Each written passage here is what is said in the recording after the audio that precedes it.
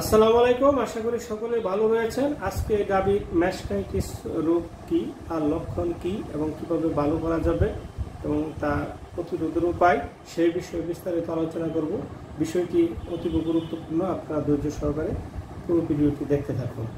সাধারণত গাভীর ম্যাস্টাইটিস গাভীর জন্য একটি মারাত্মক রূপ কারণ গাভী সাধারণত দুধ দোয়ানো হয় এবং এই দুধকে এই খামারি লাভ করে থাকে, তাছাড়া এই দুধ বাছুর খেয়ে বাছুর বড় হয়ে থাকে।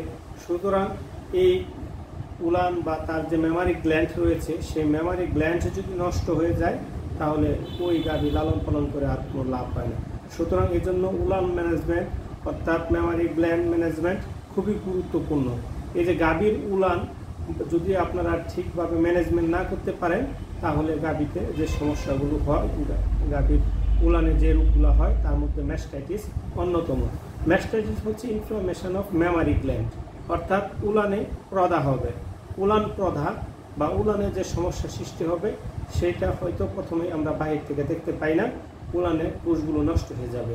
পরবর্তীতে দেখা যাবে দুধগুলো নষ্ট আসবে এবং দুধ নষ্ট আসবে, কোনো কোনো সময় সেটি ফুলে যাবে, অত্যাধিক ফুলে যাবে এবং প্রথম দিকে ফুলে যায়, তারপর দুধ নষ্ট দুধ আসে। এবং অনেক সময় দেখা যায় যে শুধুমাত্র পানি আসে। এবং সেখানে দলের ব্যথা পায়, গরু সাধারণত দুধ দিতে চায় না, এবং সেটা দেখে মোটামুটিভাবে কষ্ট বোঝা যায়। তবে সাব ক্লিনিক্যাল মাস্টাইসিসের ক্ষেত্রে বাহির থেকে কোনো লক্ষণ বোঝা যায় না, সেটা ভিতরে ভিতরে নষ্ট করতে থাকে। সুতরাং এই যে বিষয়গুলো যে ম্যাস্টাইটিস যা উলান প্রদা, সেটা বিভিন্ন ধরনের জীবাণু দ্বারা হতে পারে। এই বিভিন্ন ধরনের জীবাণু দ্বারা হয় বলেই অনেক সময় ডাক্তাররা বিভিন্ন চিকিৎসা দিয়েও ফেল হয়। যার কারণে এই ম্যাস্টাইটিস একটু গুরুত্ব সহকারে বিবেচনা করা উচিত। আমাদের উলানের যে রোগগুলো হয় সেই রোগগুলোর মধ্যে যেমন বিভিন্ন ধরনের গুটি গুটি হয় ফক্স হয় আডার ফক্স বলা হয় এবং তাছাড়া উলানের বিভিন্ন অংশে ফেটে যায়, টিটের বাটের অংশ ফেটে যায় এবং সবচেয়ে বেশি হয় ম্যাস্টাইটিস এই ম্যাস্টাইটিস রোগটি বিভিন্ন ধরনের জীবাণু দ্বারা হয়, স্টেফাইলোকক্কাস দ্বারা বেশি হয়, তারপর স্টেপটুকক্কাস দ্বারা হয়, স্টেপটুকক্কাস পিসিস এবং স্টেফাইলোকক্কাস পিসিস দ্বারা হয়। তাছাড়া এগুলো হচ্ছে গ্রাম পজিটিভ ব্যাকটেরিয়া তাছাড়া রয়েছে গ্রাম নেগেটিভ ব্যাকটেরিয়া ইসিয়া কুলাই দ্বারা হতে পারে ইকুলাই অর্থাৎ ইকুলাই সাধারণত শেষ সাথে অবস্থায়, যখন শেষ সাথে অবস্থায় গরু বসে যায় এবং তার টিট ক্যানেল ফাঁকা থাকে, অর্থাৎ দুধ দোয়ানোর টিট ফাঁকা থাকে, তখন সাধারণত আক্রমণ করে। সেগুলো আক্রমণ করে কোষগুলোকে নষ্ট করে দেয়। তার তার ফলে কিন্তু দুধ নষ্ট, দুধ বের হয়। এই জন্য এই যে তারপর সবচেয়ে মারাত্মক হয় মাইক্রোপ্লাজমা ফিসিস দ্বারা যদি আক্রান্ত হয়। মাইক্রোপ্লাজমা পিসিস দ্বারা যদি আক্রান্ত হয়, তাহলে সেক্ষেত্রে দেখা যায় যে উলানটা পচে যেতে পারে অ্যাক্সেস হতে পারে, অর্থাৎ গরুটি একসময় বাতিল হয়ে যায়। সুতরাং এই যে স্টেফাইলোকক্কাস স্টেপটোকক্কাস অথবা অ্যান্টারোকক্কাস অথবা মাইক্রোপ্লাজমা পিসিস যে জীবাণু দ্বারাই হোক না কেন, এগুলো অতি তাড়াতাড়ি শনাক্ত করতে হবে। তা না তা না হলে এগুলো এত দ্রুত বংশবৃদ্ধি করে। কারণ হচ্ছে যেহেতু দুধ পায়, অর্থাৎ দুধ কিন্তু জীবাণুরও আদর্শ খাবার। দুধ যেমন মানুষের আদর্শ খাবার, তেমন জীবাণুরও আদর্শ খাবার। অর্থাৎ দুধ পেলে তারা দ্রুত বংশবৃদ্ধি করতে পারে। সুতরাং খুব দ্রুত। এই জন্য আপনারা এই রোগের ক্ষেত্রে কোনোভাবে অবহেলা করা উচিত নয়। দেখা যায় যে প্রথম দিকে ফুলে যায়, সেজন্য আপনারা বিভিন্ন ধরনের যে বাজারে প্রিপারেশন রয়েছে সেগুলো আপনারা খাওয়ান। যেমন মিষ্টি কেয়ার প্লাস, তারপর মিষ্টি অথবা প্রোমাস্ট অথবা মিষ্টি টোয়েন্টি ফোর যেগুলো যে প্রিপারেশন রয়েছে ভিটামিন এ সমৃদ্ধ, এই এই এই প্রিপারেশনগুলো আপনারা খাওয়ান। সাধারণত এগুলো খাওয়ানোর ফলে অনেক সময় দেখা যায় যে মোটামুটি ভালো হয়ে যায়, কিন্তু কিছুদিন পর কিন্তু আবার হয়। সুতরাং যদি জীবাণুর আক্রমণ ঘটে তাহলে অবশ্যই আপনারা নিকটস্থ ভেটেরিনারি ডক্টরের পরামর্শ নিয়ে দ্রুত চিকিৎসা নেবেন। তা না হলে উলান নষ্ট হয়ে যেতে পারে। আপনার ভিতরে ভিতরে কিন্তু নষ্ট হয়, আমরা বাহির থেকে দেখি না। অনেক সময় ফ্রাইবোসিস হয়ে যায়। ফ্রাইবোসিস হয়ে গেলে উলান শক্ত হয়ে যায় এবং এলবিওগুলো শক্ত হয়ে যায়, ধীরে ধীরে বন্ধ করে। তখন যদি আপনি দুদিন পরে চিকিৎসা করেন, কিন্তু এই দুই দিনে যে কোষগুলো ফাইব্রোসিস হয়ে গেছে, অর্থাৎ যে কোষগুলো নষ্ট হয়ে গেছে, সেটি তো আর ঠিক হবে না। তখন বাকিগুলো যেগুলো এখনও নষ্ট হয়নি, দুই দিন পরে চিকিৎসা করলে হয়তো সেগুলো ভালো হবে। এই জন্য দেখা যায় যে একটু দেরিতে চিকিৎসা করলে অনেক সময় ভালো হলেও দুধ কম আসে, অথবা শক্তটা পুরোপুরি যায় না, আগের চেয়ে দুধ ঠিকমতো পাওয়া যায় না। এই সমস্যাগুলো এই কারণে হয়। সুতরাং এই যেন, এই ধরনের সমস্যা যেন না হয়, আমরা দ্রুত চিকিৎসা করতে হবে। সেই জন্য কোনো কারণে সাধারণত ফোলা অবস্থায় যদি ট্রিটমেন্ট করেন, সবচেয়ে ভালো।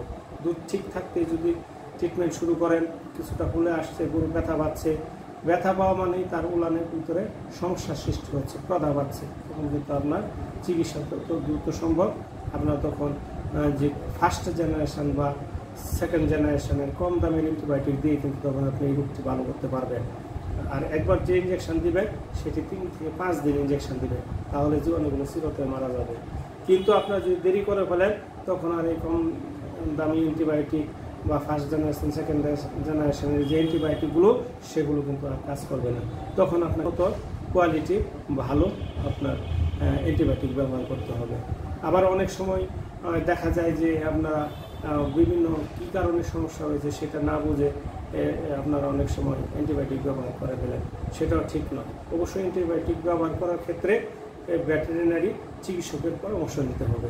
তাছাড়া আপনারা অন্য প্রাথমিক ট্রিটমেন্ট করতে পারবেন, কোনো সমস্যা নাই। কিন্তু অ্যান্টিবায়োটিক ট্রিটমেন্ট করতে গেলে অবশ্যই ভেটেরিনারি ডক্টরের পরামর্শ নিতে হবে।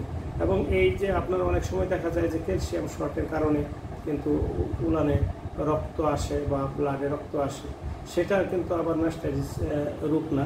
সেটা হচ্ছে যে ক্যালসিয়ামের ঘাটতির কারণে অথবা ভিতরে ব্লাড ভেসেল ফেটে যায় বা রক্ত আসে। তখন যদি ক্যালসিয়াম অক্সালেট অথবা ক্যালসিয়াম যে প্রিপারেশনগুলো রয়েছে, সেগুলো যদি আপনারা দেন অথবা ট্রাসিক ব্যাট ইঞ্জেকশান এগুলো যদি দেন, তাহলে হয়তো রক্ত পড়া বন্ধ হয়ে যেতে পারে। ভালো হয়ে যেতে পারে। কিন্তু কিছু আছে যে পচা রক্ত বের হয় অর্থাৎ ভিতরে পচে গেছে সেখানে সাধারণত সেই রক্তটাই কালো কালচে রঙের একটু কালচে কালচে রঙের টাটকা নয় এই রকম রক্ত বের হচ্ছে তখন কিন্তু আর বসে থাকলে হবে না বা আহ, ত- ততক্ষণে অনেক দেরি হয়ে গেছে আপনাকে দ্রুত চিকিৎসা করতে হবে। দ্রুত যদি চিকিৎসা করতে পারে। এমন রাত্রে দেখবেন ভালো আছে, সকালে খারাপ হয়ে যেতে পারে, পরের দিন পুরো উলানি নষ্ট হয়ে যেতে পারে। সুতরাং যত দ্রুত সম্ভব আমাদেরকে চিকিৎসা নিতে হবে। এবং সেক্ষেত্রে আমি বললাম যে প্রথমে আমরা ফার্স্ট জেনারেশন অর্থাৎ প্রথম জেনারেশনের অ্যান্টিবায়োটিকগুলো আমরা সেগুলো ব্যবহার করব। দ্বিতীয় ক্ষেত্রে আমরা সেকেন্ড জেনারেশন আমরা ব্যবহার করতে পারি এবং তারপর যদি ভালো না হয়, তখন আমরা থার্ড জেনারেশন ব্যবহার করতে পারি। অনেকেই কিন্তু অতিরিক্ত ভুল করে, বিশেষ করে তারা প্রথমে থার্ড জেনারেশন অ্যান্টিবায়োটিক ব্যবহার শুরু করে। কখনো এটি কাম্য নয়। সুতরাং আপনার অ্যান্টিবায়োটিক ব্যবহার করতে গেলে অবশ্যই ভেটেরিনারি চিকিৎসকের পরামর্শ দেবে। প্রিয় খামারি ভাইরা যেহেতু কি এই ম্যাস্টাইটিস রোগটি অত্যন্ত খারাপ এবং সাধারণত কিছু দেরি হয়ে গেলে তারপর আর ভালো হতে চায় না। সুতরাং সেটি গাভীর জন্য অনেক কষ্টের এবং ব্যথাদায়ক, তীব্র ব্যথার সৃষ্টি করে যদি উলান প্রদা হয়। সুতরাং সেটা আমরা বুঝতে পারি না বাহির থেকে। সুতরাং আমাদেরকে অ্যান্টি- অ্যান্টিবায়োটিক ব্যবহারের পাশাপাশি ব্যথানাশক ইঞ্জেকশনও দিতে হবে অ্যান্টিহিস্টামিন দিতে হবে এবং পাঁচ দিন চিকিৎসা করতে হবে এবং দ্রুত চিকিৎসা নিতে হবে। মনে রাখতে হবে, যদি গাভীর উলান বাদ হয়ে যায় তাহলে ওই গাভীটি বাদ, ওই গাভী থেকে আপনার আর লাভ করার কোনো সুযোগ নাই, বরং তখন দিন দিন ক্ষতি হতে থাকবে। সুতরাং এই যে উলানের এই সমস্যা যেন না হয়, আমরা অবশ্যই মিট অ্যান্ড ক্লিন বা পরিষ্কার রাখব। মনে রাখতে হবে গাভীকে সবসময় পরিষ্কার জায়গায় রাখতে হবে। গোবর বা পানি এগুলো এলোমেলোভাবে আপনার লেগে থাকবে, তাহলে কিন্তু এই খামার থেকে ম্যাস্টাইটিস দূর হবে না। ম্যাস্টাইটিস রোগ, সাধারণত রোগ প্রতিরোধ ক্ষমতা ভালো থাকলে অনেক সময় এই কাদা মাটি লেগে থাকার পরেও হয় না।